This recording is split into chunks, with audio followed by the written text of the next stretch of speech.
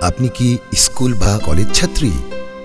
আপনাকে কি কেউ টিজ বা উত্ত্যক্ত করে, অশালীন কথা বলে, চলার পথে বাজে ইঙ্গিত করে, মোবাইল ফোনে বিরক্ত করে? তাহলে আপনার নাম ও থ্রি সেভেন থ্রি লিখে নিচের যে কোনো নম্বরে এস করে দিন। এরপর আমরাই আপনাকে ফোন করে বিস্তারিত জেনে নেব। নিশ্চিত থাকুন, আপনার পরিচয় অবশ্যই গোপন রাখা হবে।